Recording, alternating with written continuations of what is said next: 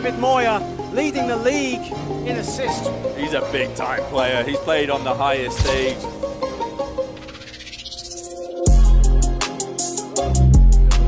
Moya finds Federici. Open three is good. Moya inside to Cork.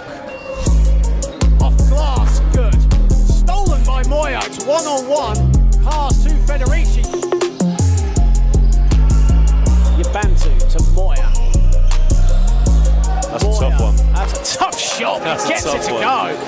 David Moya has been feeling it all night. Moya, wide open three, knocks it down. David Moya from downtown.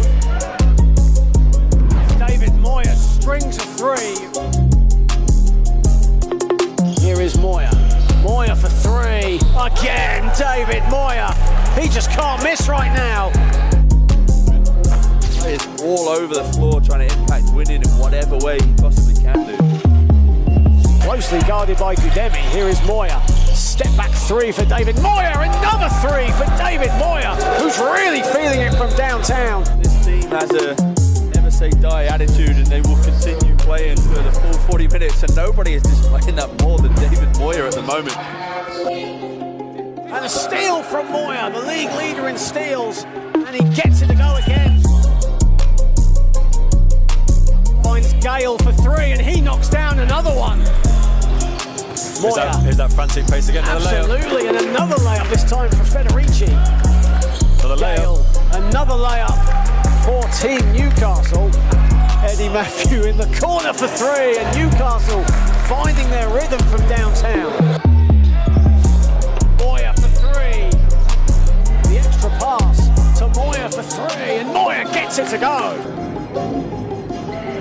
No doubt David Moya has put in a shift today, inside the court. Federici back to Moya in rhythm, puts in another three. And open David Moya in the corner. That's dangerous, and that's why.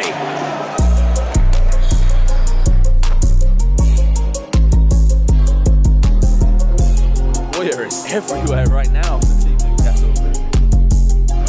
Moya though with the with the uh, steal, and here is Blaine in transition.